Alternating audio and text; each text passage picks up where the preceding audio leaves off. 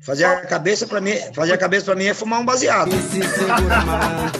Para fazer a cabeça tem Não, não, vou fazer a cabeça do vídeo mesmo. Ah, tá. Pô. Começamos em grande estilo. Fala, galera do meu Samba Roots. Estou aqui hoje com José Marilton da Cruz, também conhecido como Chapinha, um dos grandes ícones do samba de São Paulo. Chapinha, grande honra ter você aqui, meu parceiro. Seja muito bem-vindo a esse humilde canal. Ô, Denis, a honra é toda minha, meu mano. José Marilton da Cruz, também conhecido como Chapinha, quase nada conhecido como José Marilton, né? Mas Chapinha mesmo.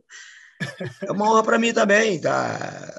É, de alguma forma batendo esse papo e, se possível, estar tá contribuindo com algum conteúdo para a continuidade ou para o pessoal que está na sintonia aí é, somar alguma coisa é, a respeito da nossa história ou da história do samba, aquela parte que a gente conhece.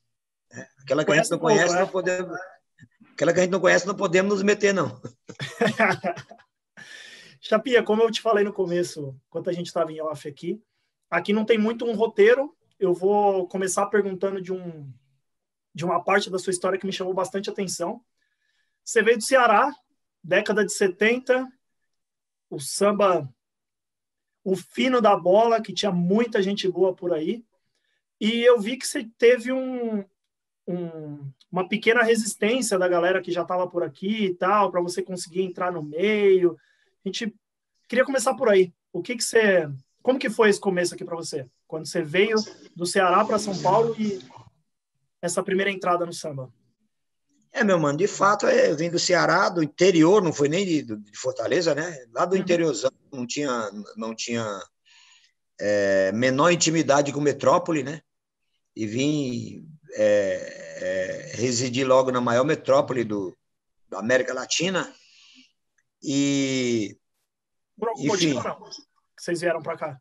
Ah, o motivo qual é, é, todo nordestino migra, né? Em busca de vida melhor. Né? Se bem que hoje eu estou pensando em voltar para lá em busca de vida melhor, viu? Cara, eu conheço Ceará, é terra boa, viu? Isso é louco, tá bom demais, cara. É, na época que eu vi, na, na, década de 70, cara, era muito sofrimento, cara. Hoje, Hoje ainda tem aquela, aquelas localidades que têm sofrimento, que nunca vai acabar, até porque a nossa, a nossa política nunca vai deixar que isso acabe, porque se isso acabar é um. Né? Bom, né? vamos, vamos esquecer a política, né? Pelo amor de Deus, senão não a gastrite ataca. É, mas, enfim, aí eu vim para São Paulo, mas já vim com. É, é, eu já tinha minha. Como é que é? Aquela vontade de, de, de, despontar na música, né? Que eu, desde pivetinho, que eu, sempre interagi com a música, a, a minha, a minha, o meu sonho de vida melhor seria, de fato, ser alguma coisa na música, né? Eu não sabia nem por onde começar, na realidade era essa. Né? Eu te, gostava de música e eu, eu sabia que eu tinha uma queda por uma música, por, um, por uma linhagem que eu não até então eu não sabia que se, se, se denominava como samba, né? Porque eu escutava lá no Ceará, quando chegava lá Martinho, Clara Nunes, Xinguinha, né? É, os artistas que chegavam naquela época, e eu, eu é, é, escutava aquilo lá, gostava, mas para mim era tudo música, não tinha esse negócio, não tinha é, é, a, a, discriminação da, das, das linhagens, né? Uhum a descentralização das, das linhagens, enfim. Mas aí eu vim para São Paulo e aí o primeiro o primeiro evento, cheguei no meio da semana, o primeiro evento que eu fui no próximo fim de semana já foi um jogo de futebol, o qual era muito comum aqui em São Paulo haver uma roda de samba na época, na beira de campo, batucada. Isso na, na arquibancada? É, não, era aqueles campos que não tinha arquibancada, campo de várzea mesmo que. Ah, sei, sei. campo sem arquibancada, era campo uhum. de várzea. E aí tinha o pessoal ficar num canto lá, o jogo acontecendo, e o pessoal ficava no canto, tava tocando. E é, eu morava de um lado do morro e o campo era do outro lado do morro. Eu subi o morro, quando eu cheguei no topo do morro, eu escutei a batucada. Aquela... Tinha lá uma, uns 10 instrumentos, sabe? Mas bateria mesmo, né? Mini bateria. Só, cara, eu fiquei, eu fiquei quando, quando o meu ouvido chegou no meu ouvido, aquilo, aquilo chegou com uma, uma suavidade, uma, sabe? E, e a, e a gente nunca tinha deparado com isso. Mano, foi uma coisa de louco, sabe aquela sensação maravilhosa de, sei lá, de você de repente estar tá próximo a degustar um prato que você nunca que né, só vê falar, né? não é o tal do caviar, mas era uma outra coisa. E aí, e aí, cara, eu fui descendo o morro e fui quando mais perto eu chegar, melhor ficava. E quando eu cheguei na beira do campo, o meu irmão que me levou correu pro vestiário, foi se trocar e eu, cara, fiquei ali e fui para a roda de samba, fui me aproximando. E, cara, eu já fui, sabe, levantando o pezinho já e tal. E aí o pessoal cantou uma par de samba e quando o pessoal parou de cantar, que não tinha mais repertório, ficava procurando na, na aquela inspiração olhando para o céu. Aí eu sabia cantar uns três ou quatro sambas. Aí comecei a cantar. Entrei lá e comecei a cantar. Do meu jeito. Aí os caras, ô, oh, baianinho e tal, me chamando de baianinho, ô, oh, baianinho e tal. E, cara, eu fui entrando ali no meio e o pessoal gostou, já, porra, fumando aquele baseado por lá e tal, ligado? Eu nem sabia que era isso tal. Uhum. que tinha um cheiro estranho também vindo lá. Enfim, acabou o samba, acabou, fui para casa, e os caras, pô, volta aqui domingo tal. Eu só cantava os três ou quatro samba. Ah, mano, aí eu já fui.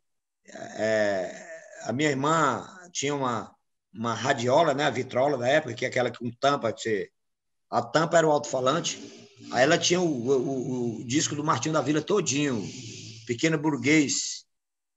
Ah, mano, aí eu fui aí fui aprendi o Pequeno Burguês naquela mesma semana. Quando foi, voltei pro quando eu voltei pro campo, eu já cantei o Martinho da Vila todo. E aí fui aprendendo bezerra, fui aprendendo, cara, eu fui aprendendo.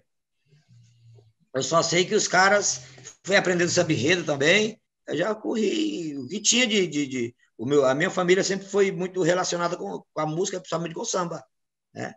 A minha, a, eu achava interessante que a minha irmã dançava samba, tal, que ela já morava aqui, e eu ficava achando interessante. Eu não tinha o menor, eu dançava muito bem um forró, mas não sabia para onde ir com o samba.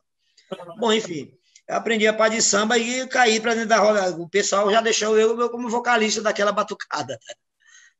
Você acha que facilita, cara, o, nascer em família de músicos? Você acha que deu um, um empurrão diferente para você? Cara, eu não digo nem família de músico, mas em família que tem uma musicalidade. Porque existe, tem, existe família que tem musicalidade e não tem músico, porque as pessoas, por falta de N coisas, né? Oportunidade e tal, interesse, alguma coisa. Mas o, o, meu pai com meus tios, quando solteiro, tinha um grupo de samba choro lá no interior, né? Então, de fato, eu nasci numa família de músicos, né? uma, uma família com muita musicalidade é uma família de música. Eu acho que, acho que isso, cara, é, é, nascer, com music, nascer com musicalidade, eu acho que é bem isso. Você nascer numa família que, onde as pessoas já interagem com a música, é bem. Né? E aí, com relação àquela pergunta que você me fez, que as dificuldades, eu achei que a rapaziada é, é botou, o pessoal botou bastante barreiras, né? É, é, eu, eu encontrei bastante barreira. Primeiro, porque era uma, uma, uma situação muito nova para mim, né? É, é, e eu fui aprendendo, mas eu tinha, eu tinha um, um sotaque muito carregado, né? Sotaque esse que eu nunca perdi, nunca perdi e pretendo mais perder meu sotaque é, no destino. Mas, assim, para cantar samba, você tem que ter uma, um, um vocabulário. Eu, eu prego muito por aí que para cantar samba mesmo, para cantar o partido alto, o samba de terreiro, né? os psicopatas, aquilo outro, você tem que ter o, o vocabulário carioca, cara. Não dá para você cantar porta, né? Por quê, né? É, assim, o sotaque, o, o para mim, o, o vocabulário, o sotaque universal do Rio de Janeiro, né? É o sotaque do carioca. Aí, aí, o, aí o carioca tem o sotaque de expressão dele, eu tenho o meu e cada um tem o seu, mas eu acho que o sotaque do samba em si, a forma de interpretar, né? Inclusive a malemolência carioca, né? É. E aí eu fui, fui, fui tentando me adequar, que não foi fácil, né? Eu já fui riscando o passinho aqui para aprender a dançar, porque achava bonito e tal, fui, e fui me aprimorando aos poucos.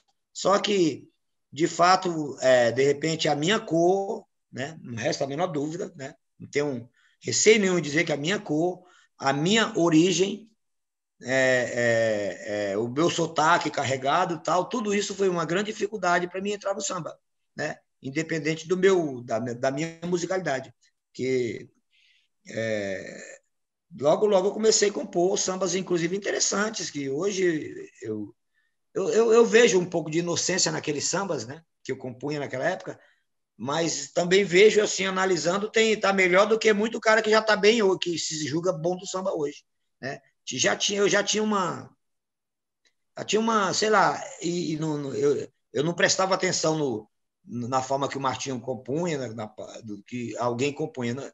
Eu só escutava, eu, eu, eu, prestava atenção no ritmo, né? na levada, e me baseava assim, na questão de, de construção, letra, compor, porque eu já compunha, só não samba. Cara, você, você é um dos caras que eu admiro, que é muito bom em, em construção da letra ali, a, as ideias são muito bem trabalhadas, tal, principalmente partido alto. E você tem muito samba sozinho, Chapinha? Você, você tem essa facilidade de criar a melodia e a letra? Ou, ou não? Você sempre está com parceiro?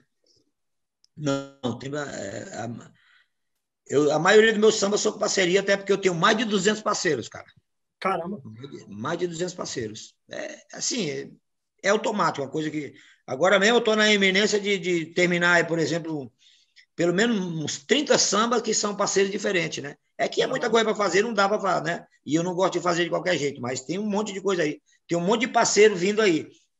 É, e eu tenho, eu tenho uma certa facilidade, cara. Graças a Deus, eu acho que o, o, o a, a, aquela, aquela a música boa que eu ouvi na minha, da minha, desde a minha é, é, da minha infância, que eu ouvi música boa, cara, eu, eu, eu, eu quando eu me entendi por gente, eu estava ouvindo Luiz Gonzaga, né?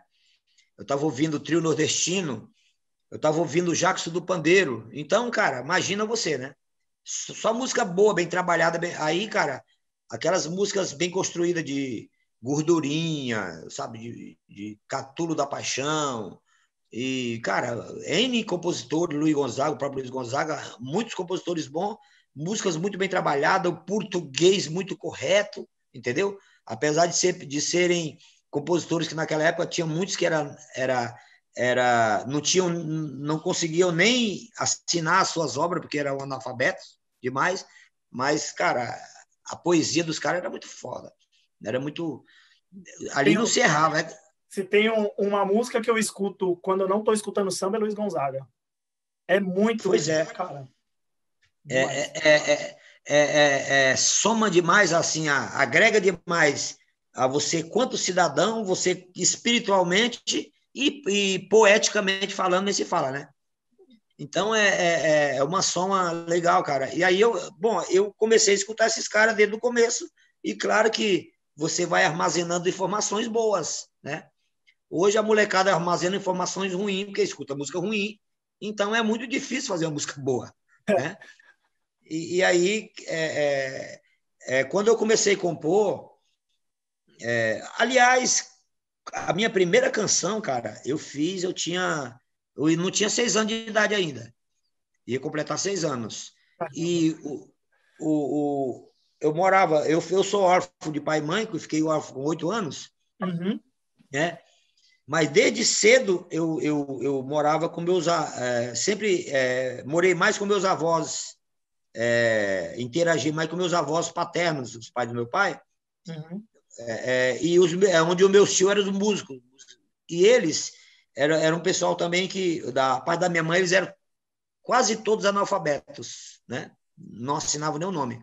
E do meu pai já era aquele pessoal mais intelectual daquela região, né? que buscava as informações. E eu acho que ele que eu via, é, é, eu, eu ficava prestando atenção nos, nas resenhas desde na época, né?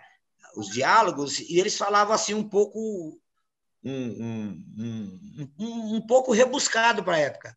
Né? O meu tio, meu tipo é o cara que estudou um pouco mais, aí teve um teve aqueles que vieram para o Rio de Janeiro, para o Sudeste, aí mandava carta, o outro ficava lendo a carta com aquele vocabulário um pouco rebuscado, né? E eu achei, vendo isso aí, eu fui aprendendo. E tanto é que o meu tio, que tocava violão, chatão, irmão do meu pai, é, ele, ele, ele esse tinha vindo embora para Fortaleza, porque o grupo, aí como é, o meu pai se casou e o outro, o outro também se casou e aí dois do violão, o meu tio do violão, não, é, o meu tio do violão veio embora para o Rio de Janeiro, meu tio Tony, que inclusive tornou-se, caminhou muito com o João Nogueira e tal. Ele era um cara bem considerado no Rio de Janeiro. Pense no violão bom de seis cordas, violão seis cordas bom. Cantava bem o cara. É, é, é, ele, ele, não digo não sei se ele era considerado, mas era um cara muito próximo do Paulo César Pinheiro. Então ele fazia também as canções legais. Estava mal acompanhado, né? É, estava mal acompanhado. E aí é, é, o meu tio que tocava cavaquinho foi embora para Fortaleza e ele, ele adquiriu tuberculose em Fortaleza. E naquela época a tuberculose não tinha cura. Então, ele foi diagnosticado com tuberculose, já num, num quadro já elevado, e ele voltou para o interior lá para morrer em casa, né? para cumprir os dias em casa. Era exatamente isso. E ele é, é, era bom musicista e um cara muito antenado nas coisas. É, eu só sei que ele me incentivava muito e ele e eu era muito pivetinho e ele dava risada, sabe? É, eu enchia os olhos dele de, de, de, alegria quando eu cantava, quando eu aprendia aquelas músicas, canções que ele gostava. E eu sei que um dia eu fui, é, a minha avó me chamou lá para cima da serra para apanhar café, é, apanhar café com ela. Apanhar café era o café que caía no chão é, a gente podia pegar aquele café ali para vender para comprar guloseima, que eu adorava bolacha, aquelas coisas. E a minha avó me, me tratava. A minha avó era pretinha, né? A minha avó era filha de negra com índio, a, mãe do meu pai, e o meu pai, filho de neto de português, aquela loucura, a mistura uhum. toda. E a minha avó, é, eu tinha eu como um troféu, eu era, eu era branquelo, loirinho dos olhos verdes, então é, me chamava até de Menino Jesus. é, eu era um capetinha, mas era chamado de Menino Jesus. E aí ela foi para apanhar café comigo para vender. Aí eu tô lá em cima do. Ela, ela tá apanhando café e eu tô ali, só acompanhando ela, né? Porque quem, quem fazia isso era ela, para mim, para me satisfazer. E aí eu lembro que escutei uma, uma burdoada no chão assim, um barulho. Quando eu olhei assim, estava perto de um pé de jaca grandão caiu uma jaca madura no chão. Aí esbagaçou aquela jaca, né? Ah, eu fui lá comer a jaca. Aí fui lá, minha avó ficou pegando café, lá comer a jaca. Graça, assim, caindo fácil, fácil, caindo perto de você ainda? É, perto de mim, porra. Ali, caía e se perdia, né? Aí, cara, eu tô comendo jaca e eu tô olhando lá de cima da serra, tô olhando assim, o, as nuvens passando baixa, o vento, o vento carregando as folhas e as nuvens passando.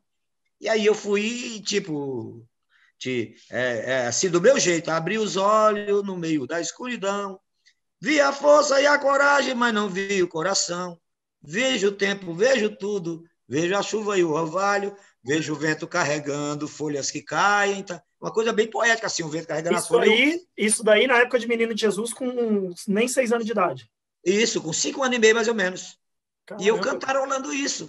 Entendeu? As coisas acontecendo, a cena acontecendo eu cantarolando.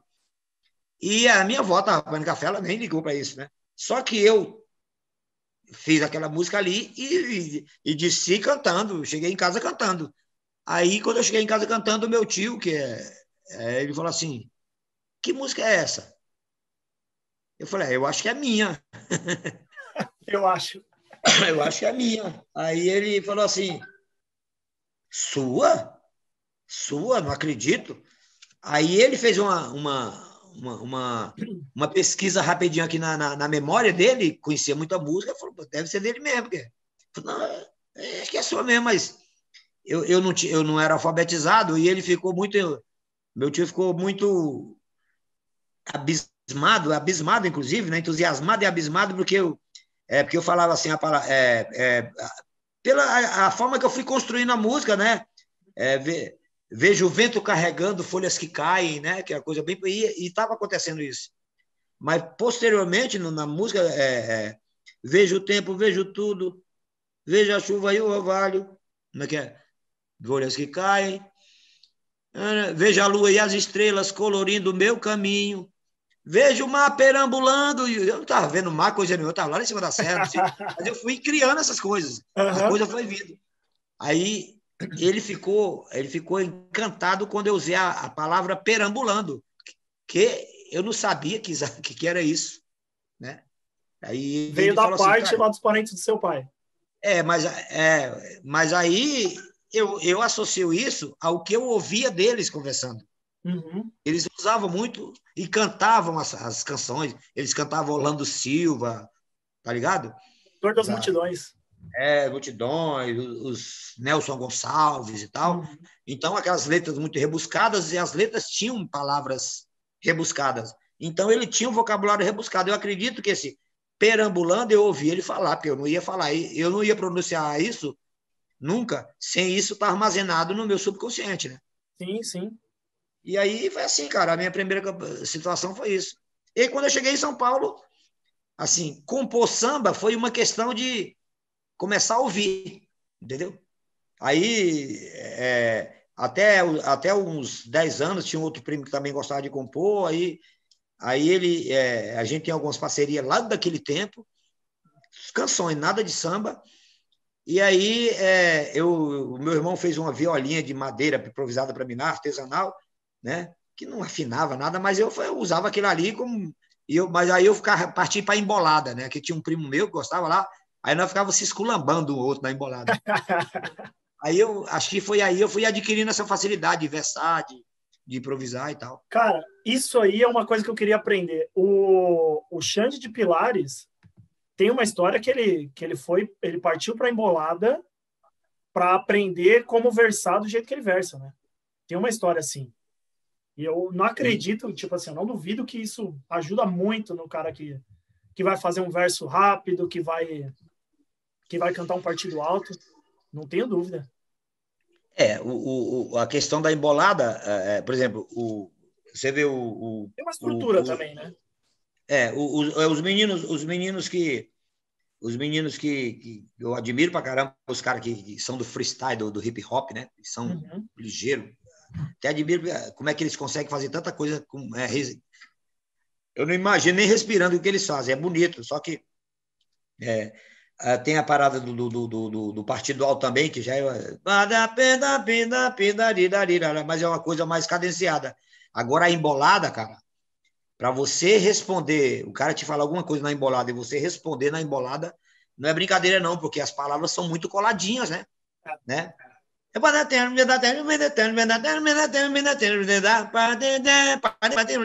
Cara, isso aqui é demais, entendeu? E tem umas na manga também, Chapinha, que nem eu vejo que em São Paulo é muito comum o lance do, do trem, né? Os caras estão lá no trem, pandeiro, um vai mandando para o outro e vai, vai aquela alopração. Só que eles têm meio que eles. Não todos, né? Mas alguns eles têm um. um eles repetem um, um, um, começo do que o outro terminou zoando ele. Então, ah, e você tá me zoando e não é brincadeira não e não sei o quê. E ele vai, ele dá uma pensada para depois ele conseguir desenrolar. Tem alguns, alguns lances assim? Ah, Ou tem. O, depende o... do cara e tem cara que vai direto e não, tem, tem, tem, existe, existe aquele cara que tem a grande facilidade de decorar muita coisa, né, de armazenar, né? Por exemplo, no Partido Alto, é, eu não conheço ninguém que tinha um que tinha um repertório de, de verso armazenado que não Renatinho Partideiro. O partideiro era bom, hein? Ele era muito, cara, muita, ele tinha muita bala na agulha, entendeu? Uhum. Ele, ele, é, é, é, ele tinha muita bala na agulha, só quando ele era apertado assim, pro improviso mesmo na hora, é, tinha, é, eu versei várias vezes com ele, né? Quando ia pro aperto mesmo assim, agora quando, quando por exemplo, quando, é, quando é eu, eu algumas vezes com o Renatinho Partideiro, quando eu, eu vi que ele que a parada dele era, era muita coisa armazenada que ele tinha, foi quando a gente foi pro verso direto sem refrão. Entendeu? Que aí, aí o verso direto sem refrão é embaçado, né? É, é porque aí ele. É, porque aí não tem como você ir pro verso direto sem refrão sem e, e salvaguardar, por exemplo, o tema, né? Aí é hora do vale tudo. Né? Uhum. É hora do vale tudo. Aí, cara, você. Mas de qualquer forma, você tem que responder é, aquilo que mais ou menos. Se o cara te chamou de feio, você tem que chamar ele de. Falar que ele não é bonito, pelo menos. Uhum.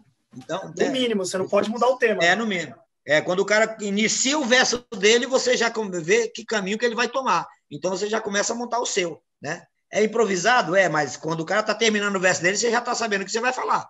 Tá. Né? Quer dizer, eu já fui, não digo bom, bom não fui nada, mas eu já fui um cara bem ligeiro nisso. Hoje, em função da gente não praticar, não tem muito como praticar, é uma cultura que está se perdendo, infelizmente, né? É, o pessoal, ah, tem muita gente versando, tem muita gente versando, mas de qualquer jeito, né? De qualquer jeito. Versando mesmo, não tem muita gente, não.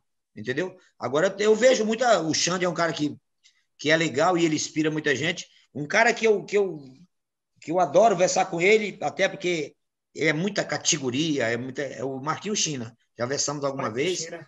É um cara muito bom versamos algumas vezes e é tudo dentro da, da, da, categoria do respeito. A gente até brinca um com o outro, é uma coisa, brincar, tirar um sarrinho é uma coisa. Mas nunca esculambar, que nem era o Renatinho. O Renatinho esculambava demais. Uhum. Ele, ele, ele aí, uma vez que na versão a coisa fala, começou a falar da mãe do um do outro, foi foda, foi, foi chato. Que ele puxou essa parada. E agora um cara que eu, que eu adoro ver ele versar, eu acho, eu acho do caralho, é o, é o, é o Gabrielzinho. Né? E não é só a letra, não é só o tema, o raciocínio, é a questão do, do, do, do da melodia, do, da, da, divisão. Aquela divisão do Zeca, entendeu? O Zeca, o Almira, sabe? E, e, mas hoje o pessoal fica versando em microfone. Ô, Denis, versar em microfone é ridículo, sabe? É ridículo versar em microfone. Verso de improviso, já por si próprio. Se é improviso, não pode ser microfone. E, e, por exemplo, se a gente está numa roda de, de, de, improviso aqui, meia dúzia de cara de, de, de, de cara versando, o, legal, o mais legal do verso de improviso que eu acho é isso aqui. De repente, eu estou fazendo o verso para você, né? Ou eu estou fazendo um verso para alguém aqui do lado, né? E o cara já está preparando a segunda, só que ele vacilou e você levantou a mão. É, essa tomada, cara, essa tomada do verso, para mim, é a mais gostosa que tem, cara, no verso. E com o microfone não dá para você fazer isso. Não, não dá. A gente tem, um, tem uns amigos aqui, né? Eu moro em Ribeirão Pires, Chapinha. Hum. Aí, sempre quando vai fazer um. Ah, vamos fazer um samba, não sei o que tal. Aí, tipo, nada muito. Nada muito planejado, nada muito ensaiado, a roda ali com banjo e sempre prego, né? E aí, no final, sempre tem o, o samba não acaba sem o moro na roça, né? Aí, ah, tal, beleza, na hora de versar. E aí, o... e aí tem esse lance de como é tudo amigo, um ficar zoando o outro, não sei o quê. Às vezes o cara tá zoando, tipo assim, ah, eu tô zoando você, aí você vacilou antes de se defender, aparece um outro cara te zoando também. Aí volta pro uhum. refrão e o cara meio que perdeu a vez e ficou, tipo, isso que é legal. Né? É. Ah, é, e aí ele é, perdeu até o raciocínio. Às vezes o cara perde até o rumo de casa. Mas eu, eu, o, o, que eu acho legal mesmo, é, é, eu acho legal mesmo é a gente criar tema na hora. Improviso 100% entendeu? Eu, eu, eu, tenho essa facilidade. Você fala assim, Chapinha, vamos fazer um, um vamos fazer um, um versado aqui, vamos versar para chave de fenda. Nós vamos ter que ver qual que é a cor da, do cabo da chave de fenda, é, se ela é Philips, se ela é sextavada, nós vamos ter que inventar alguma coisa ali. Entendeu? Eu gosto dessa parada, de, de inventar na hora. E você gosta mais de compor partido, Chapinha? Ou não tem uma preferência, não? O que vier não, não é, não é questão de preferência minha, não. É o que pinta mais é partido. Né? Uhum. É, é, bem, é, bem, é o que pinta mais é o partido. É o que a gente se identifica mais, porque é o que está mais perto do meu DNA, aquilo que eu aprendi lá com a embolada, né? Uhum. Agora a gente também arrisca de vez em quando as dolentes, umas canções, e o pessoal até gosta, cara. Fica legal. É a gente aprendeu, né? Porque, assim, a partir da hora que, que eu, é, é de fato, entendi que eu tinha algum talento, né? Não digo que eu sou talentoso pra caramba, não, mas eu, alguma coisa a gente tem. Então, na hora que eu vi que eu levava jeito para coisa, o que que eu mais levo jeito na música? É, é eu amo samba, então é aqui, é aqui que eu quero que eu quero ficar. E o que que eu levo mais jeito? É compor. Então, eu fui procurar não me especializar, mas pelo menos aprimorar as coisas, para não falar qualquer coisa, entendeu? Se bem que eu já não falava muito qualquer coisa, mas é, é, é principalmente essa questão, porque é, tem muita gente que tem uma. Né, tem muitos. Bom, isso não vem nenhuma crítica a ninguém, absolutamente.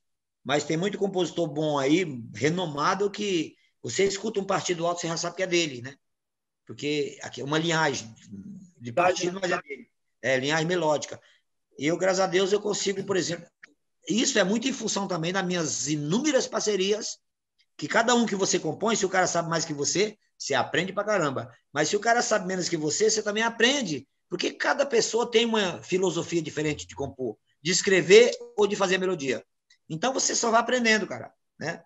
E, é, é, é, por exemplo, eu consigo cantar 50 partidos, 50 partidos de minha autoria, alguns só meus e outros com parceria, sem, é, sem, sem, sem, sem, caguetar. Não digo plástico, porque plágio é oito, são oito compassos, mas sem caguetar a melodia, entendeu?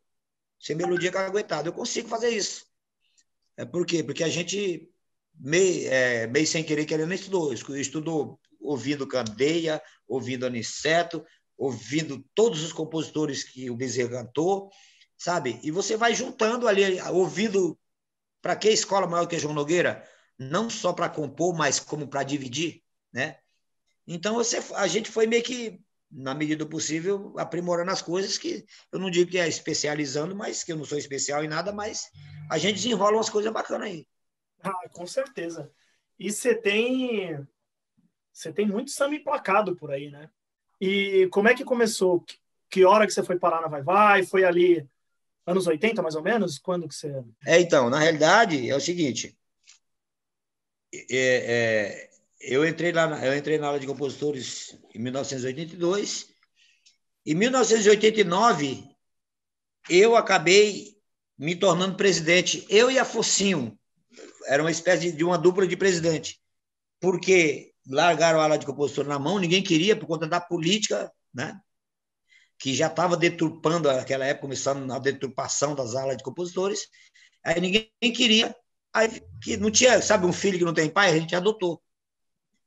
Né? Aí, aí tocamos um tempo a ala de compositores, quer dizer, eu me tornei presidente da ala de compositores, não por eleição, que alguém falou assim, vamos votar no Chapinha, não, é porque não tinha ninguém para ser, eu fui é, um responsável pela aula de compositores. E aí a gente tocou, fez uma boa, um, foi um, um, tempo curto, mas a gente fez uma ótima administração, eu e Afonso. Tanto é que é, é, os ensaios da Vai Vai, da nossa querida, amada Vai Vai, é, a qual eu fiz um samba esse, essa semana, eu fiz um samba de exaltação para Vai Vai.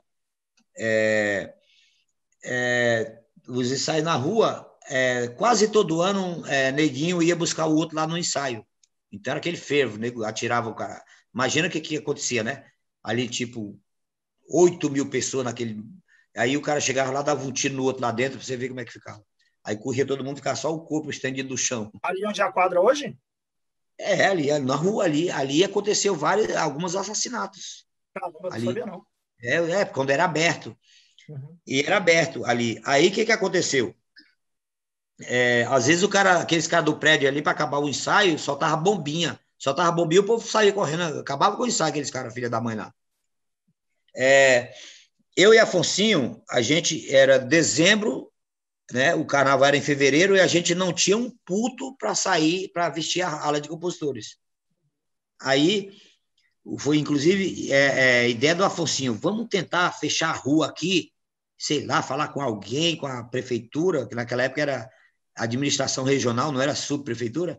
Vamos falar com eles para ver se eles deixam a gente fazer uma festa aqui e tal. Pra... A gente tem que fazer uma festa para arrumar dinheiro. Aí fomos na, na, na, prefeitura da Sé falar com o pessoal lá do, de, que, que tomava conta da região ali e pedir para eles para a gente pedir para a gente fazer essa festa é, para fechar as ruas, né? Fechar as ruas, fazer a bilheteria e fazer a festa com o povo lá dentro.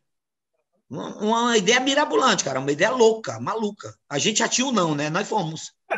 Sabe o que aconteceu? Os caras não só consentiram, como, como levaram os tapumes todos para a gente fechar. Eles entregaram os tapumes lá para nós. A gente só montou.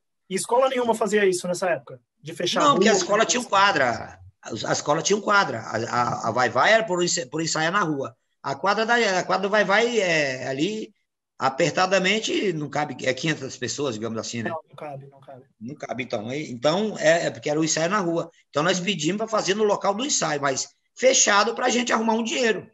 né?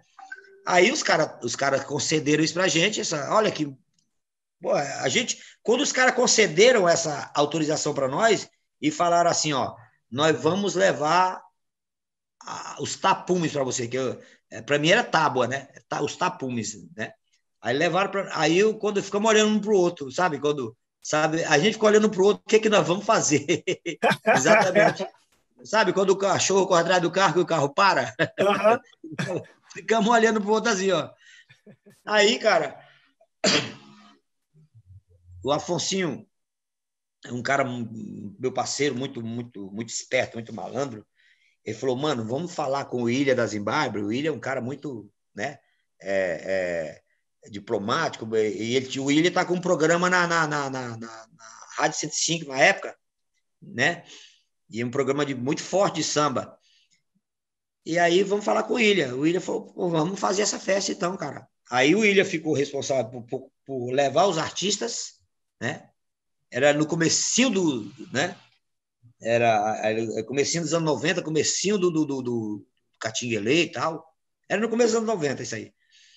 E aí o, o, o, o William é, é, é, fez parceria com o Pelé Problema, sei lá, fizeram a parceria, sei que era o William da Zimbábue, fez essa parada, ele tomou conta dos artistas e nós fiz, tomamos conta da estrutura, organizar a bilheteria, organizar tudo, a festa ali. E aí a gente, ao final, rachava o, o lucro, pagava todo mundo, né? Rachava o lucro. Cara, eu só sei que é o seguinte: começou a festa lá bem no comecinho do, do, do Catinguele não estava nem, estava começando a despontar. É, começou a festa exatamente às 8 da noite do sábado, com Catinguele, e terminou às 10 da manhã com fundo de quintal. Caramba. Ininterruptamente, mano. Que louco. Você precisa ver como é que ficou aquela, aquele, aquela, aquela barata, sem problema, porque fechado e tal. Foi maravilhoso, o Denis. Foi um negócio maravilhoso, cara. Deixa eu abaixar isso aqui. Eu vou pausar aqui. É. Aí, aí, mano, ele. É, é, só sei que é, quando eu, eu fico, nós ficamos mais de 50 horas sem dormir, eu e Afonso, para organizar isso aí.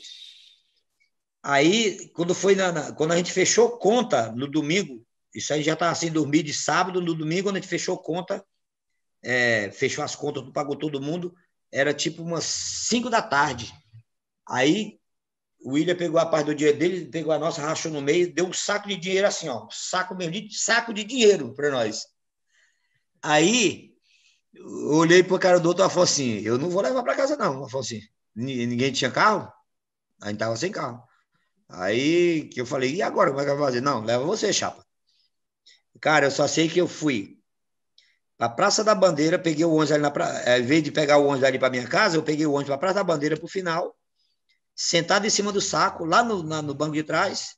Aí cheguei, peguei, peguei o busão lá na bandeira, sentei em cima do saco atrás, fui até a minha casa já em São Luís, sentado em cima do saco, né, com medo que o pessoal roubasse, mas ninguém sabia que tinha ali. E aí, na quarta-feira, eu sentei em cima do saco de novo, voltei para Vai Vai, para reunião, para contar o dinheiro. E aí, quando contou o dinheiro, eu peguei o, o ônibus de novo e voltei para casa com o saco de dinheiro para poder, no outro dia, abrir uma conta e depositar aquela porra lá. Olha que aventura maluca, mano. E ninguém sabia que tinha ali, naquele saco, o pessoal do ônibus. É, parecia um... que eu estava chegando do Ceará com rapadura e farinha. Engraçado demais.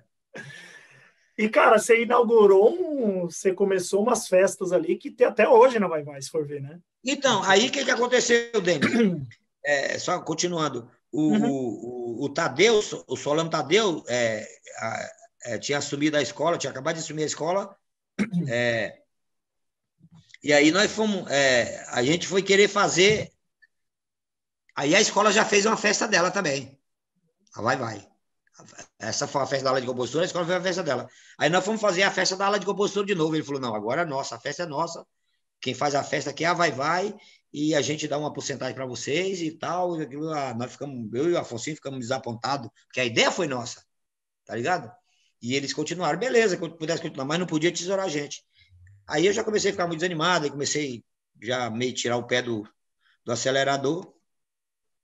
Né? Aí fiquei para lá e para cá. Uma hora eu estava na escola, outra não estava. Quando foi em 2000, me afastei de vez. Né?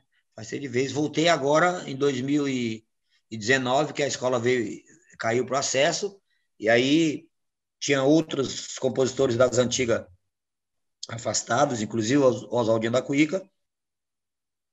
Aí juntamos, é, é, montamos um, um, um coletivo chamado Quilombo Resistência, e lutamos e, e, a ala de compositores que estava um qualquer um estava lá aí nós tomamos não foi de assalto porque a gente tomou na ideia não foi não entendeu? Chegou e tomou na ideia mostrando que a gente tinha capacidade. Não aceitamos ninguém de fora fazer samba. Fizemos o samba quer dizer a rapaziada compôs escolhemos o samba. O samba foi para a avenida levantou a escola de novo. Agora começou a política lá de novo. Eu já entreguei minha carta de, de renúncia. Já não estou mais porque o lado bom dessa história aí que foi em 2000 que você fundou a Vela, né? Exatamente. Foi a Vela, mas assim, a Vela, Denis, ele, a Vela é consequência de um projeto que eu, te, que eu tive desde 80, de 86 a 96 aqui no Monte Azul, aqui no Jardim São Luís, aqui na Zona Sul de São Paulo. Zona Sul, que na época da, dos anos 70, de ditadura militar, não podia nem andar com o instrumento na mão. Não podia andar com o instrumento. Quando os caras pegavam, era tapa para todo lado, levava em cana, né? e não podia só podia fazer samba no quintal da sua casa e na beira de campo. Pronto. Ponto, não tinha. Você não podia ficar no boteco tocando. Se os caras chegassem à barca São Paulina, era aquele alvoroço, entendeu? E é mesmo isso aí, cara. É, aqui na zona, porque, porque sabe, as pessoas pensam que São Paulo não tinha isso. A Zona Leste sempre foi região de samba, porque por ser cidade dormitório, né? Então, sempre, o samba na Zona Leste é. E a Zona Norte tá, também bastante samba, mas a Zona Leste principalmente. O samba sempre foi liberado lá, que sempre foi tido como área de pobre, né? Naquela época eles consideravam isso, era onde os pobres, os trabalhadores iam dormir. A Zona Sul também, também tinha e tem pobre até hoje, sempre teve, né? Só que, é, porque aqui na Zona Sul, região do Burumbi, Chacra Flora, Boa Vista, Brooklyn, é, Campo Belo, é região de, de, de, de onde, principalmente Chacra Flora, onde os industriários moravam, né? E moram, alguns moram até hoje. Então, não podia fazer samba porque era coisa de maloqueiro, coisa de. Você está ligado já, né? De onde vem a, essa, essas alegações. Então, não interessa se o cara é branco e está com o pandeiro na mão, apanha também. Então, aí, em 85 acabou a ditadura. Em 86 eu montei aqui na, no Jardim Monte Azul, São Luís, o primeiro boteco de samba de toda a Zona Sul de São Paulo sabe? Que boteco que fazia samba de vez em quando, tinha no Ipiranga, tinha numa vila ali, fazia samba de vez em quando, enquanto os homens não chegavam e não acabava o samba, enquanto não incomodava. Mas assim, um boteco específico para samba, o meu boteco foi o primeiro de todas as Sul de São Paulo. De 86 a 96. Foi onde chegou Magno Maurílio, é, onde o Carica vinha. 86? O Magno 86, Maurílio? Não, o, o Maurício chegaram nos anos 90 já. Ah, tá. Ah, o projeto, o, o Boteca é de 86. Aquela época que colava quem era, era Paquera, era Carica, era Marquinho Sensação, que se julga meu afilhado, né? Não é que se julga, ele fala que eu sou, porque eu fui, fui eu que botei o Marquinho para cantar pela primeira vez, lá na Vai Vai, né? Quase amarelou, mas pegou o microfone e nunca mais largou. E e sim outros, né? Então, o, o, Digo do, o Digo do Sueto, o Digo, do, o Digo que entrou no Sueto depois, ele é de 87 mais ou menos, ele era menininho. O Digo devia ter uns 11 anos quando chegou no meu bar. Por aí. Novinho, novinho. É aí no, acho que lá para 92, 3 por aí, 93, 94, se eu não me engano, 94 mais ou menos. Acho que o Magno e o Maurício chegaram. O, Ma, o Maurício tinha 13 anos e o Magno tinha 16 lá no meu bar. Entendeu? Né, né, fazendo parte desse projeto. E aí, em, em 96, eu fechei o bar, questões né, de, da criminalidade e tal, isso, aquilo, outro, e eu já não estava mais conseguindo equacionar as coisas, o pessoal já não me respeitava mais. Aí eu fechei, fiquei quatro anos sem bar. Em dois, aí fui embora para Sorocaba, desiludido. Antes, porém, eu fui no Rio de Janeiro, produzi um disco Partido Alto com o Mauro Diniz, né? O, Ma, o Maurílio, Maurílio tocava percussão, aí eu enchi o saco dele para ele tocar cavaco, botei um menino para ensinar ele umas notas, e ele foi, ele foi tocar cavaco, e, e esse menino que era violão e cavaco também, começou a fazer um time para mim, fazendo violão, e eu falando Maurílio, Dó maior, é, Dó com quinta e nona, vai para Lá menor, tá ligado? E, e a audição foi, foi ensinando o Maurílio. E aí o Maurílio tornou-se um dos maiores, é, um dos maiores cavaquinistas que eu considero desse país. Bom pra caramba. Com certeza. E aí, quando foi em 2000, eu voltei de Sorocaba, final de 99, e fui porque com essa desilusão, aí de, gravei um disco Partido Alto com o Mauro Diniz, cheguei em São Paulo, as gravadoras não quiseram, falaram que tinha, tinha que ter um, um lelele, um não sei o quê, aí eu fui embora para lá. E voltei em 99 e no começo de 2000 já comecei a procurar um local, arrumei um parceiro chamado Joe Black Paul, um cabeleireiro, meu parceirão de muitos anos, e montamos o Ziriguidu, um espaço cultural Ziriguidu, né? Que é uma história longa que não cabe eu te contar aqui, que já entende sai do samba, né? Que o Ziriguidu não era para ser um não era para ser exatamente uma casa de samba, era para ser um estacionamento para aproveitar para fazer samba. Aí no entanto, é, no entanto aprove... acabou virando só samba, porque as condições de estacionamento não foram possíveis. E aí, a história é longa. E aí comecei a fazer o Botequim do Zirigudu de quarta-feira, esse partido improvisado, acústico e tal.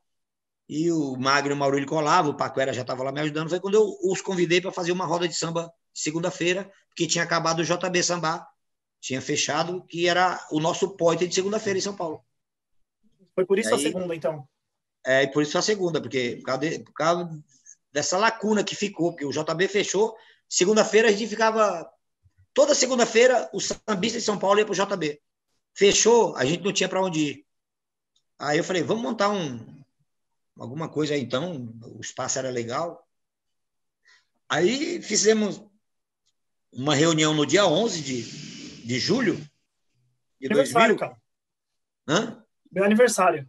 Dia 11 de julho? Dia 11 de julho. Então, dia 11 de julho, dia do seu aniversário, nós fizemos uma reunião, uma terça-feira, uhum. para discutir as normas daquela roda de samba, como, é que seria, como é que seria aquela roda de samba. Até então, para cantar Cartola, Nelson, todo mundo, né? Cantar todo mundo. Aí, fizemos reunião, definimos, ah, vamos lá, vai ser assim, vai ser assado, tal, isso, aquilo, outro. Beleza, mas quando terminou a reunião, nós começamos a cantar sambas inéditos um para o outro. Aí nós fomos até três e meia da manhã cantando sambas inéditos um para o outro. Eu, Magro, Maurílio e Paquera. E aí foi exatamente nesse horário que eu, que eu, aí me despertou a ideia. Por que não cantar nosso samba, né? É uma forma da gente de, de, de difundir o nosso samba, é uma forma da gente contribuir com a música, né, com, com a verdadeira continuidade do, do, do, da tradição do samba, porque se a gente continuar cantando Cartola, Nelson Cavaquinho, Geraldo Filme, Adoniran, daqui 50 anos estamos cantando a mesma coisa que já morreram. E outros vão também, né? E aí, se a gente começar a cantar inédito, quem sabe os compositores se empolgam, vêm e a gente faz alguma coisa é, mantendo a tradição da cultura do samba. Né? É com a composição que a gente faz isso, manter a tradição do samba é só compondo, né? Porque se a gente parar de compor, daqui um dia vira folclore. Aí foi um discurso assim, aí já acaba. Não vamos fazer, né? Mas, pô, cantar samba inédito, as pessoas não vão gostar, porque sempre tem aquela, porra, quem vai gostar? Aí eu e Paquera, a gente já tinha muito, eu, a gente é parceiro desde 82 na Vai Vai, a gente fazia nossos sambas, é, é uma, coisa, uma coisa muito nossa, minha e do Paquera, a gente fazia nosso samba, a gente fazia, na, no domingo a gente ia para quadra já com letra e tudo, né? A, a, os outros faziam mais no samba enredo, para divulgar o samba enredo. Catituar, chama catituais aí, né? Para catituar o samba enredo. Não, eu e Paquera, a gente começou a catituar o samba, qualquer samba que a gente fazia. E aí a gente ia para as rodas de samba da, da quebrada, do, da Vila Madalena, no Buru, Bar do Buru, a gente levava as letras. Né? É, Eu já é. fiz isso, é mó barato, cara. É, então. Ficar filipetinho assim, ó, falou, opa. É, e aí quando o samba é bom, cara, às vezes quando o samba é bom não precisa nem de letra, mas quando o samba é bom, o cara com a letra, é, Ricardo aos Bambas, quando, pô, quando gravou, já era sucesso. Muitos sambas, quando, é, é, é quando foi gravado lá do Ademir Nadão, já era sucesso, porque é, nós montamos uma panela assim que fazia esse trabalho, né? Que divulgava na quadra, para onde a gente ia, divulgava, no Botequim do Camisa, Botecão do Oswaldão, um monte de gente, a gente fazia essa parada. Você precisa ver quando, quando, quando eu gravei também, eu gravei o Recado aos Bamba e gravei o Pra Desabafar. Você precisa ver como é que era o sucesso do Pra Desabafar no Bar do Buru, na Vila Madalena, de sábado. Era loucura. Quando, Acho que chegamos. Ao final era loucura, mano. Era uma loucura. Que louco, cara. Eu tava falando com, tava falando com Moreira, que eu tinha um grupo até dois anos atrás, e aí a gente, uma das coisas que a gente fazia é pegar, por exemplo, ah, eu vejo um vídeo do, do cara que mostrou uma música no Beco do Rato, o cara que cantou a música numa roda X lá do Rio, e a gente trazia para o nosso samba, principalmente partido, né, com, com refrão fácil e tal, e aí a galera cantava animado que nem sabia onde, de onde era. Eu falei, putz, é isso, cara, para o negócio espalhar, né? Como você falou, para o samba não, não morrer, né? E aí. É. Na, na, realidade, a música, a música é assim, a música, ela, ela, quem envolve primeiro as pessoas é a música, né? No caso, a melodia, né? As pessoas se embalam, tanto é que as pessoas às vezes se embalam em, em, em melodias aí que não sabem nem o que estão cantando na letra, por exemplo, uma, uma música internacional, né? Sim. É, as pessoas, eu, por exemplo, eu curto bastante música das antigas internacional, que eu não sei a letra, né? Mas as, é, tem letra que tem música que eu já vi a, a, versão, fico até decepcionado com a poesia, né? Mas a melodia é maravilhosa. Sim. Agora, quando o cara, quando o cara acha é legal quando a gente acha uma melodia legal que o povo é, é, já, rapidinho é, é, é, já traz aquilo, já, já cai na alma das pessoas, né? Aí a música é legal, a melodia legal, por exemplo, é oh, insensato destino, para quê? Isso é muito. Né? Se o cara só tiver lá, isso já é bonito por si só. Aí vem a letra, que é muito. Aquela para você estava falando de construção, que você gosta da minha, da minha construção, a gente constrói direitinho, né? E aí, quando chega num momento crucial, você vai para um refrão, Destino, porque faz. Porra, isso é louco, cara. Né? Cara, eu vi um, uma entrevista da. Acho que foi uma entrevista do Arlindo, que ele fala que quando ele compôs Madureira, primeiro ele compôs a letra. Aí ele. É, lara, lara, lara, lara, lara, lara, lara. Aí ele mostrou para a esposa dele, nossa, que legal isso aí e tal. Ah, como é que vai ser a letra? Não, ainda não sei e tal, não sei o quê. Beleza. Ah, Depois, compôs a melodia. É, ele, ele mostrou a melodia. Na hora ah, que tá. ele chegou com a, com, a, com a letra, ela falou: Pô, Arlindo, uma melodia bonita dessa, você vai falar de Madureira? Aí ele rachou, tal, não sei o quê, mas, cara, quando emplacou também, porque é uma baita de uma melodia, né? O meu lugar. Isso é louco, né? Então, eu, eu acho a poesia local, a poesia maravilhosa, cara. Falar daqui do seu trecho, do, do falar do, do, do, seu quintal, entendeu? Eu acho maravilhoso. Eu acho isso, o samba tem muito isso, né? Mas a melodia que envolve, né? Se você pega isso aí, você tira tudo, é, você bota, você imagina isso aí, você monta uma orquestra e como é quando ouvir,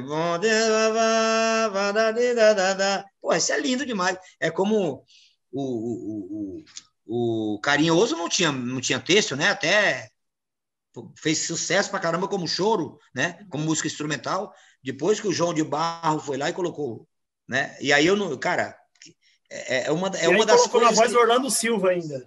É, é uma das é uma das músicas que eu sempre que eu me baseei exatamente pensando nessa questão da construção, porque é, a, a madrinha Bete Carvalho teve um dia que ela a gente ficou lá no boteco depois de cima da vela, o, o, os meninos tinham um compromisso no outro dia, o quinteto naquela época, e eu fiquei fazendo sala para ela, porque ela ia na vela e ela queria ficar no boteco até raiar o dia. E não tem jeito, tem que ficar. E, e aquele dia ficou eu, ela e algumas pessoas ali que gostavam, resenhando com ela ali, e ela começou a elogiar o meu, a minha a construção da minha música, né? Ela, ela nunca gravou eu, né? Mas, mas elogiava. Já era uma. É, gravar é consequência. Mas ela, é, é, algumas músicas, aí eu, ela perguntou, começou a fazer pergunta é, no quem, em quem que eu me inspirava tal. E eu falava, é, ele, ela também achava a minha divisão muito, né? É, ela achava um pouquinho parecido com o Jacques. Eu falei, a ah, minha, minha inspiração é Jacques primeiro, para a divisão. Escutei muito novo e tal, fui, né? E música boa eu escutei. Música boa, é, é falei, eu escutei Odaí José, escutei Fernando Mendes, escutei Valdir Soriano, escutei é, isso antes de, de vir para o samba, né? Então, isso, isso foi armazenando boas poesias, né? Boas construções musicais, e quando eu vim para o samba, essas informações que estavam no meu subconsciente foram vindo à tona. Inclusive a facilidade para montar melodias um pouco diferentes no samba, né? tem é, eu, graças a Deus, tem, tem sambas é, é, é tanto dolente quanto partido alto que tem melodia diferente. Por exemplo, tem é, um partido assim, me cansei da labuta na roça, foi inchada e a maquixó, joguei tudo que eu tinha no saco, cujo cadeado era um nó, vim da terra do Tom Cavalcante, Chico Anísio, Didi Mocó, olha a viagem. Eu apenas mais um nordestino à procura de vida melhor. Não é uma viagem legal? É? Aí, tem o, aí tem o outro, é, é não quero tirar um barato, tampouco fazer zum, zum, zum, só quero fazer meu relato, é totalmente diferente. Né?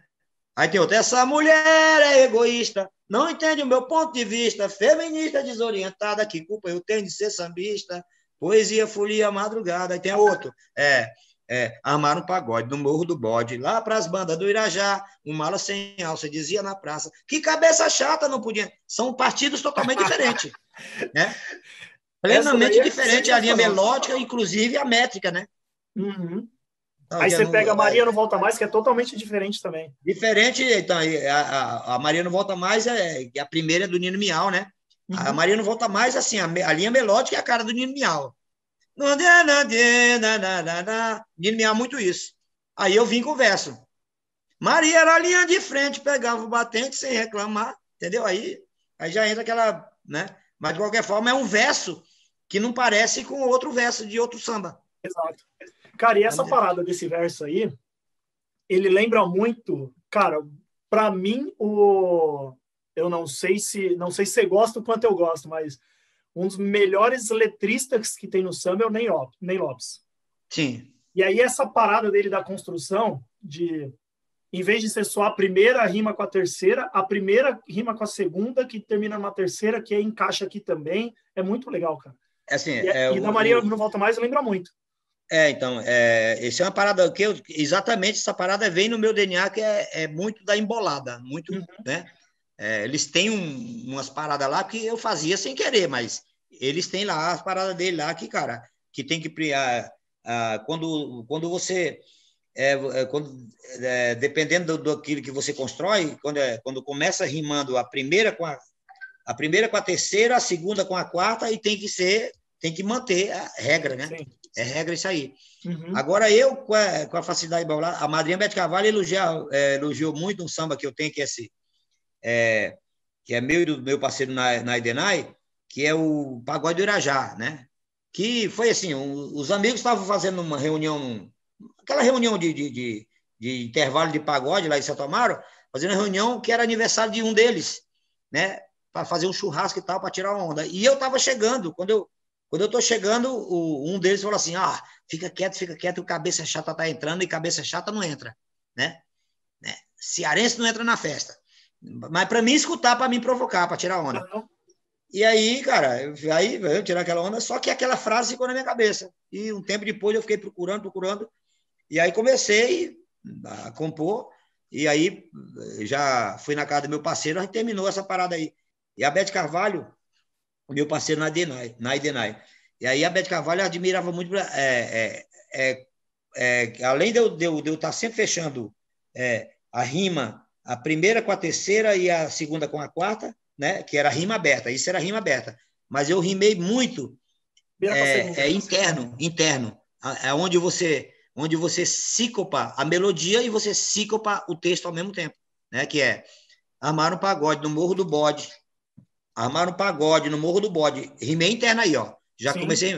Armaram um pagode no Morro do Bode. Lá para as bandas do Irajá, aí abri a rima. Aí, um mala sem alça, dizia na praça. Não é uma rima. Praça com alça, alça com praça não é uma rima, mas tá ali é, pertinho. é sonoro, né? Que nem o é, lance é, do... Sonoro. Só colocar a tomada aqui. É que nem o lance é. do rap, né?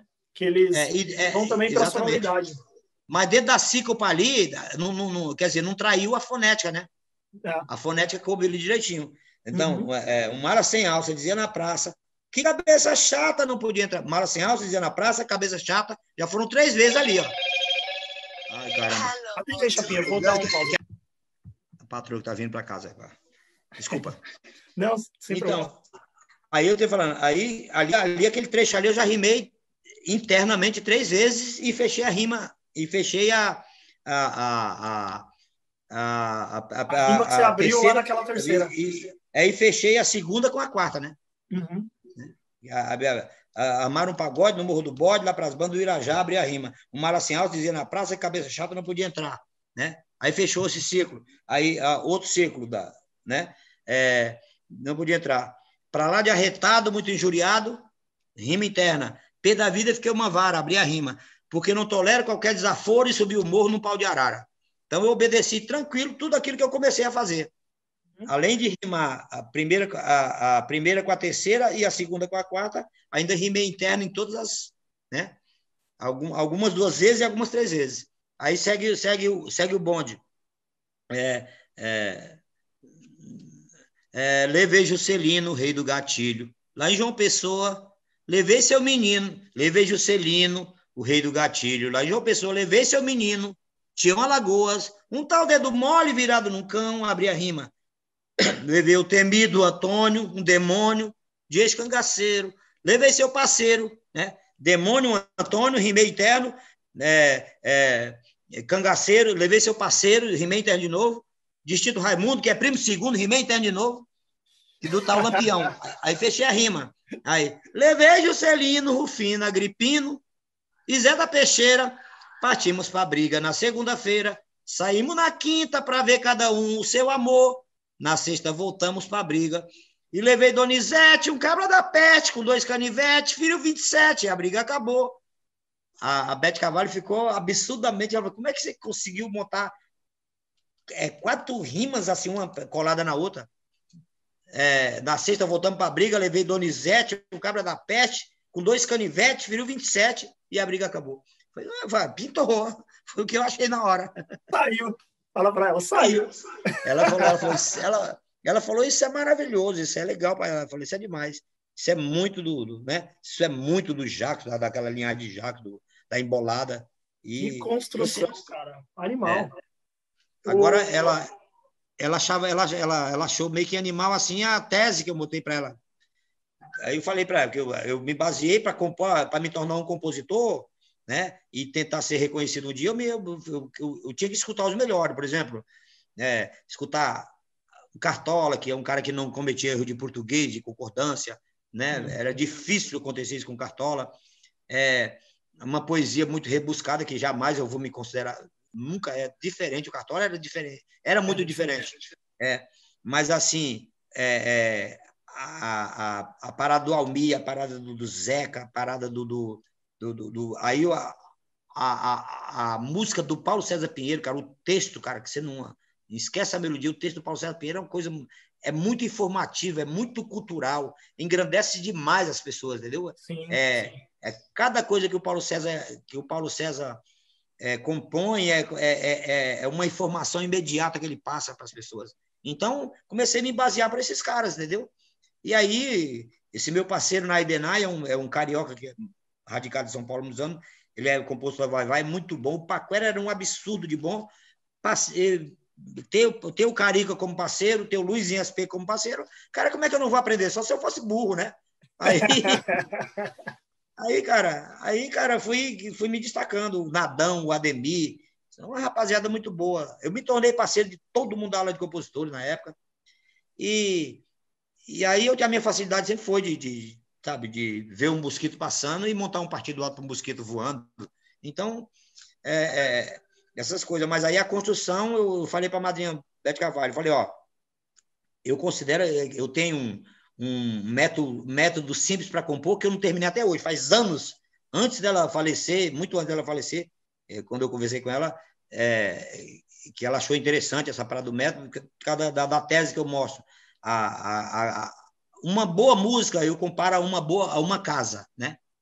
Uma linda música, uma linda casa. Para você ter uma casa, uma, uma casa legal, assim, é, é, não precisar nem de um arquiteto para, por exemplo, para poder desenhar um, aquelas casas feitas no morro, no, no, no, no, terreno caído. Você tem um terreno plano, é muito fácil você fazer uma casa, né? Só que aí você tem que chamar um mestre de obra que vai fazer o alicerce e vai começar a subir as paredes, tijolo por tijolo, em cima um do outro. Eu considero o tijolo da parede, eu considero a palavra, né? A parede eu considero uma frase, né? uma frase musical. A palavra é o tijolo, entendeu? Então, se você deixar um tijolo um pouquinho torto, a parede vai ficar torta. Não é verdade? Então, se você botar a palavra um pouquinho fora de fonética, sabe?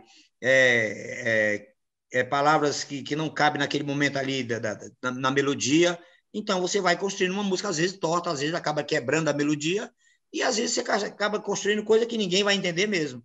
Então, eu acho assim, é, é isso que eu te falo. É, é, você pega qualquer música do, do, do Arlindo, a construção, filha da mãe, né? É, tem muitos, muita gente do Rio de Janeiro que, que, que é escola, né? Então, eu fui me baseando por esses caras. E eu cheguei num. E aí comecei também meio que dar aula, né? Eu, eu dou aula. Hoje estou dando aula pela, pela internet, né? Tem alguns alunos. E, aula de quê, Chapinha? De, de composição. É mesmo? É, de composição. Então, essa aula de composição. Cara, é, é incrível, o, o Denis. Qualquer, qualquer assunto que você começar, que você aprender sobre aquele assunto e você vai ensinar, quanto mais você ensina, mais você aprimora, cara, mais você aprende. Sim, sim. É. A composição, então, quando eu comecei, é, é, é, eu comecei a ensinar assim espontaneamente os meninos que lá no meu bar, aquelas músicas tortas, tal, isso, aquilo outro, aquelas às vezes muito inocente, eu falo, não, é aqui, é aqui, é aqui, e você vai e você vai tirando conclusões de música que você já fez. Falou, é isso que eu falei para o falei pro Denis agora, eu podia ter feito aquela minha música, entendeu? Então você vai aprendendo conforme você vai. Cara, é muito louco isso. E, cara, eu não sou o melhor do mundo, não, muito pelo contrário, mas eu desenrolo, às vezes os caras chegam aqui com as músicas que te coisa que é difícil, chegam umas coisas difíceis, mano. é, é, melodicamente, às vezes, tem umas coisas doidas, né? Porque eu não toco, né? Não toco harmonia, não toco nada. Mas, assim, a minha parceria, na, eu, Naio e Paquera, quando a gente fez uma parceria muito forte lá nos anos, nos anos 80 mesmo, a gente se encontrava toda quarta-feira na casa do Paquera para compor. E eu sempre chegava atrasado pelo meu negócio e tal. E aí eles já tinham começado duas, três músicas quando eu chegava lá. Né? Aí eles, sim, eles começavam, às vezes, ficavam só no texto, falar assim, a melodia é quando o Chapinha chegava, o Chapinha que define a melodia. Eu sempre definia a melodia, porque e eles tocavam harmonia, né? Mas o cara da melodia sempre foi mais ou menos eu, porque eles gostavam da minha melodia natural. Eu tenho um parceiro que que fala que ama a minha, minha melodia, que eu amo a música dele como um todo, que é Vanderlei Monteiro, né? Como amo ele como pessoa também. E, e, e eu falei, eu tenho uma dificuldade, eu, eu, eu tenho uma dificuldade de, de às vezes de, de é, umas modulações, que a modulação é normal, de, sabe, de maior para menor, de menor para menor, isso é normal, a gente vai. Mas às vezes você precisa, a gente ir para uma relativa e sem instrumento é difícil. Ah. E às vezes, às vezes eu faço isso sem que, né? Eu faço isso. Aí depois a rapaziada do instrumento que descobre isso. Mas, mas por exemplo, é, é, é legal você estar tá aqui numa, cantando uma.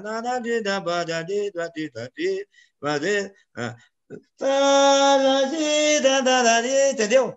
É, você foi, né? É. Daquela modulada, daquela subida.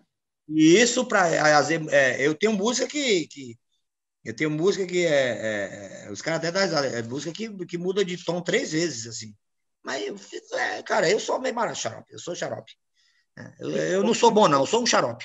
E tem e tem composição que é engraçado, né? Porque assim, é, o lance da corda, da harmonia tal.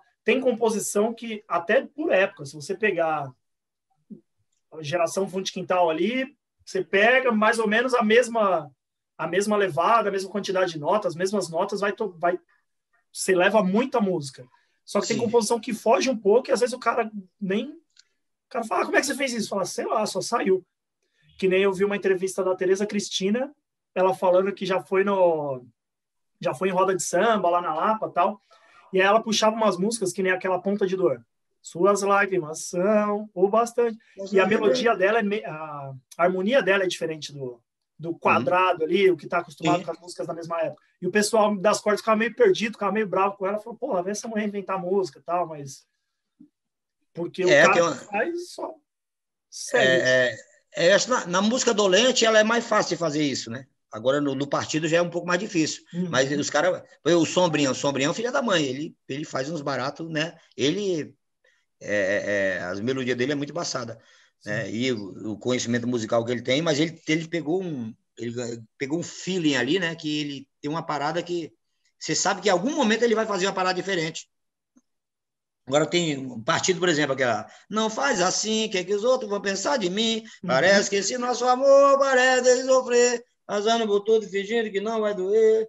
Deixa teu sorriso inocente vadiando por aí, só pra fingir que o meu não me faz feliz. Olha onde tá.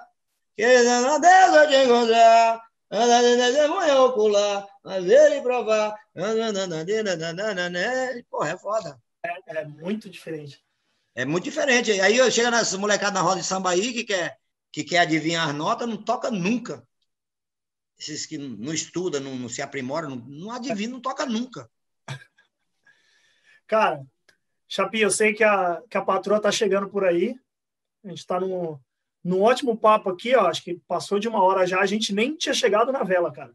Mas vamos pro. mas o Zoom não tesourou ainda? Não, não, a gente está em dois, né? Quando tava em três, ah, ele tesoura. Ah, tá. ah, pode... ah, ah, tá, tá em dois, é quando é em três. É, tá quando é em três, ele tesoura. É, Mas, cara, é, fala um pouco do, da escola de. Como que é esse lance da, das aulas de composição? Para quem, que, quem então, se interessar, tá aberto para todo mundo, não tá? Como que é? Não, para todo mundo, para todo mundo. Só não pode ser o cara que sabe mais do que eu, que senão, né? Que, a, que não é difícil. não, dá? não é difícil. Não é difícil saber mais do que eu, então. É assim, ó às vezes você tem uma música, às vezes, às vezes você tem uma música que você tá tem cara, tem gente aí que tem música que tem 10 anos e ele não consegue terminar. Vezes já passou para vários parceiros não consegue terminar. Falta alguma coisa. A gente e, e, e às vezes tem casos que que naquela aquela sintonia não tem solução. A gente tem que desmanchar e fazer tudo de novo, né? Dependendo. Aí vamos analisar o caso.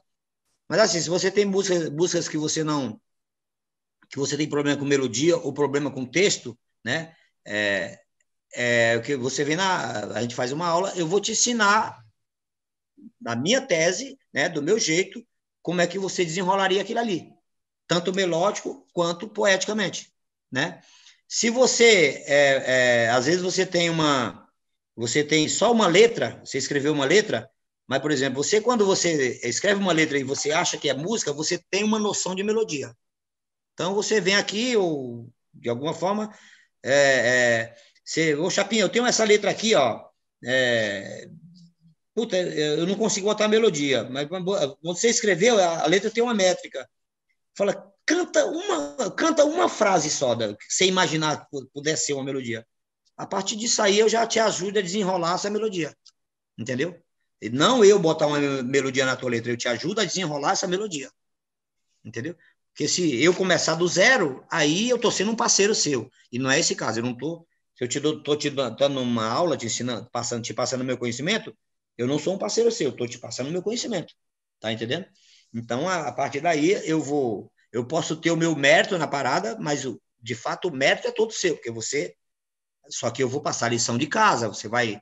Tem, tem situação que é facinho, tal. Aí eu tenho hora que eu você se enrosca com algumas coisinhas, eu falo, não, usa a palavra amor, por exemplo, nesse momento aí. Aí você vai ficar procurando como é que você usaria a palavra amor naquele momento. E quando você não consegue, aí eu falo assim, não, usa o amor com mais. É, é, é, usa a palavra outrora. Aí você vai entender que aquele amor de outrora você vai começando a montar. É um quebra-cabeça, né? Então é assim. Louco, cara. Cara, eu tô no o, os próximos tempos aqui no meu trabalho vai estar um tá meio turbulento, mas eu vou fazer isso aí, viu, Chapinha? Vou votar na não nessa, mas eu tô na próxima turma, viu? Gostei da ideia. É, então, é, e, é a aula, aula de composição, cara. Às vezes eu dou aula coletiva até cinco pessoas, já fiz isso para mais de cinco pessoas. Assim, é, quando é tipo workshop, né?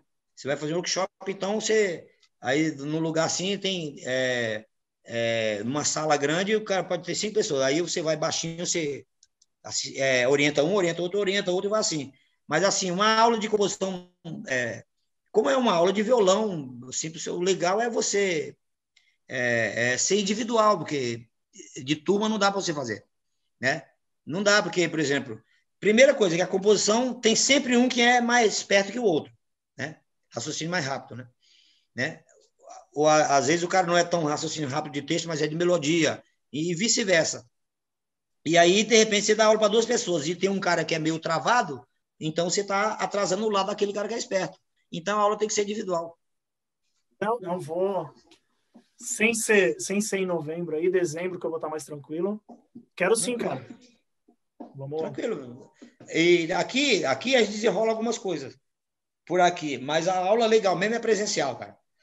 Sabe por quê? Porque a, a, a, composição, eu, porra, nessa pandemia eu terminei, sei lá, acho seis sambas. Né? Samba demais, cara. É, pense uma porrada de samba, né? O, o menino lá de Minas Gerais esse dia mandou uma, uma, uma primeira, é, mandou, como é que é?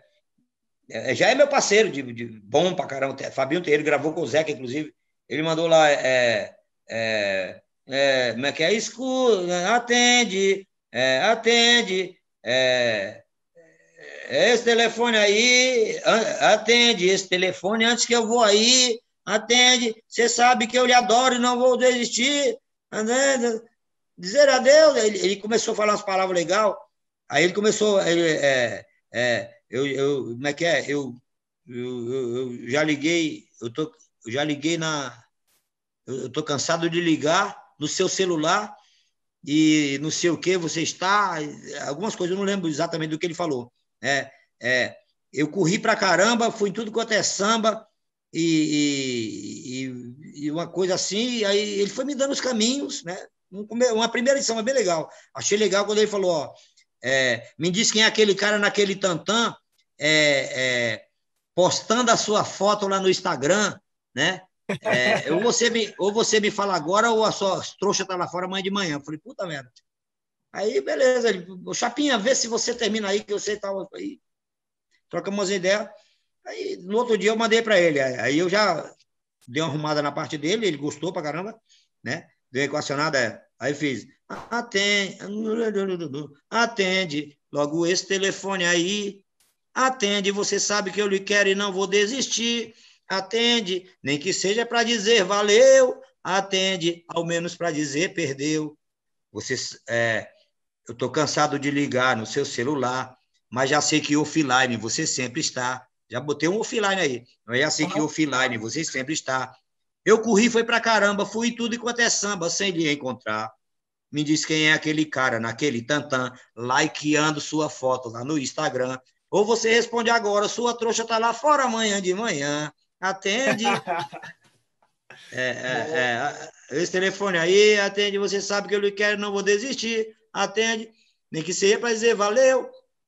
Atende, ao menos para dizer perdeu. Aí eu montei essa segunda. É, é para dizer perdeu de uma coisa, você esqueceu que o seu de uma coisa, você esqueceu que o seu smartphone quem comprou fui eu. Tá no meu nome, posso bloquear quando eu bem quiser. Já pensou ficar sem redes sociais, WhatsApp, Facebook e outras redes mais? É, e outras redes mais. Aliás, em nome da paz, vamos nos acertar, larará. Quer ganhar o meu perdão? Diz agora onde está.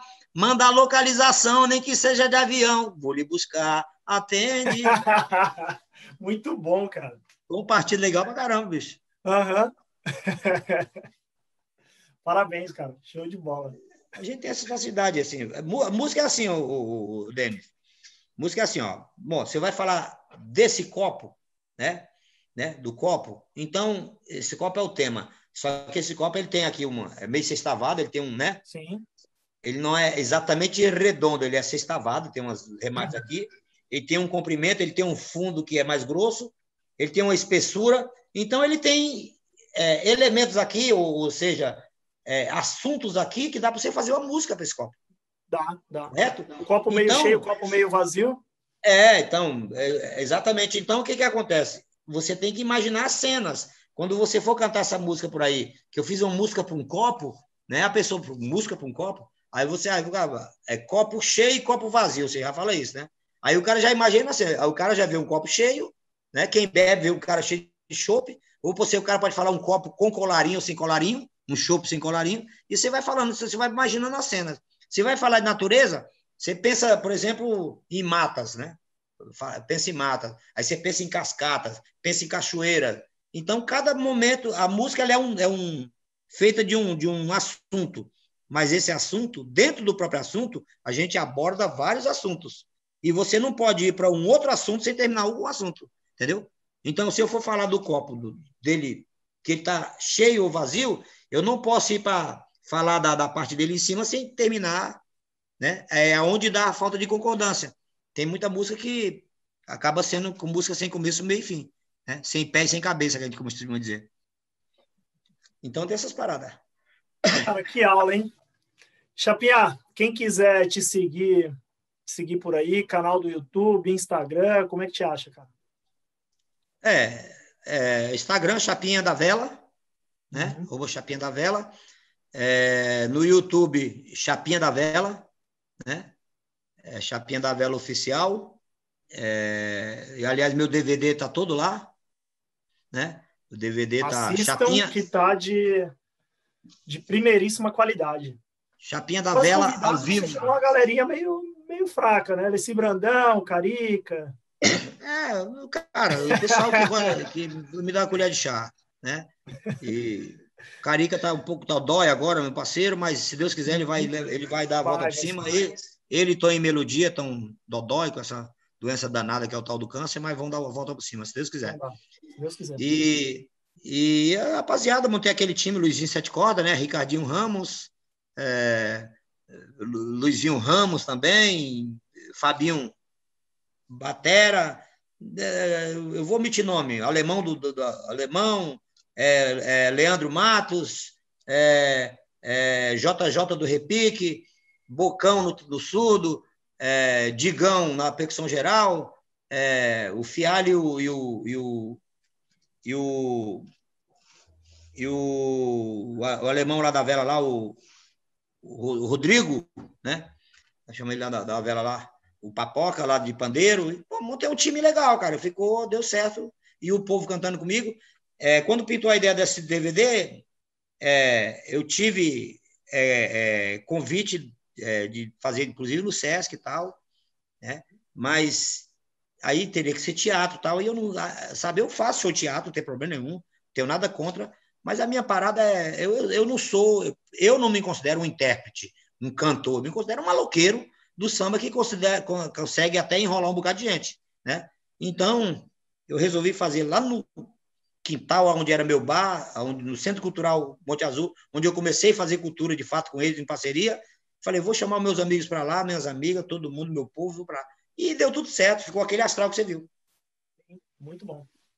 Tá legal. Tchaca, tchaca, eu gosto do tchaca tchaca tchaca Se não tiver isso, se não tiver malandragem para mim não né. É, então, se for algo muito muito certinho, muito não pode errar nada, não, não tem a mesma não tem a mesma é, essência, né? É, parado, mano, eu faço show, tal, com a vela, repertório, né, as partituras, tal, é legal, não, nada mais gostoso de você estar aqui, escutar aquilo, tá legal, Fá maior, entendeu? Ré menor, é, o gostoso do samba é isso. Não quer dizer que, mas tem o lado mais sério também que tem que levar, que é, se não levar a sério também, você, a gente não chega, a gente não eleva o samba, né? Então a gente tem que fazer, tem que se profissionalizar, que é para o samba chegar onde, pelo menos perto de onde merece. Cara, obrigado demais. Valeu. Se você quiser deixar algum último recado para a galera aí, só tenho a agradecer, Chapinha, a participação, cara. Show de bola. Daria para ficar na resenha aqui até sei lá que hora.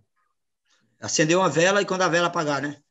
Uhum. É, é, é, bom, pessoal tem um pouquinho de paciência, né? Especialmente o povo do samba que gosta muito da comunidade de cima da vela, a gente agradece carinho, todo mundo, toda hora estão postando, tão, me liga, o Chapinha quando volta, quando volta. Tem um pouquinho de paciência que no tempo de Deus eu sou muito da espiritualidade. No tempo da espiritualidade maior tudo acontece, né? Não, não cai uma folha sem que Deus permita. E e, e é também tem essa parada do, do, do, do da minha caminhada, do, minha carreira solo, curta o meu trabalho aí, que tem muita gente, ô, oh, Chapinha, adora seu trabalho, não sabe cantar meia música minha. Então, quer dizer, não adianta nada também, né? É, é, o trabalho está aí, o trabalho da Vossa Suzana, que acabamos de produzir, né? Eu estou na, na linha de frente dessa produção, é, é, com o Ricardinho Ramos e Jura Max. Aliás, falar nisso, Ricardinho Ramos, Juramax, eu e Juramax acabamos de concluir um estúdio aqui, aqui embaixo da minha casa. Tem um estúdio legal para contribuir com o samba, um estúdio bacana. Vem aqui um dia para você conhecer. Sim, é um estúdio, sim. Um trabalho legal. O Juramax está tornando um grande técnico de som para samba e está ficando bacana. Tá bom? E curta o meu Facebook, Chapinha da Vela. E, e quem quiser pegar meu WhatsApp, tá lá o meu número lá na, na, minha página lá. Pode dar na vela lá, fica à vontade, que o meu WhatsApp é do povo, é, é público. Pessoal, muito obrigado. Presença ilustríssima hoje aqui e até o próximo vídeo.